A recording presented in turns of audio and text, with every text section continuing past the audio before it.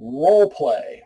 Uh, Kaley Cuoco is an assassin, and that's basically the story. Her, her family gets caught up in in, in shit, and it, it comes to light that she's an assassin.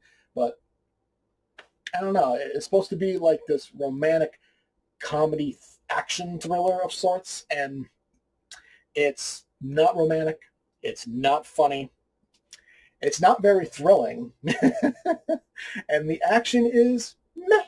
Now, I love Kaley Cuoco. I think she's fantastic. The flight attendant on Max, I thought was a great, great show. She was amazing in it. But this, I don't know if it was just a shitty script, a shitty story, or if she, she did not have interest in it. She just signed on for a paycheck.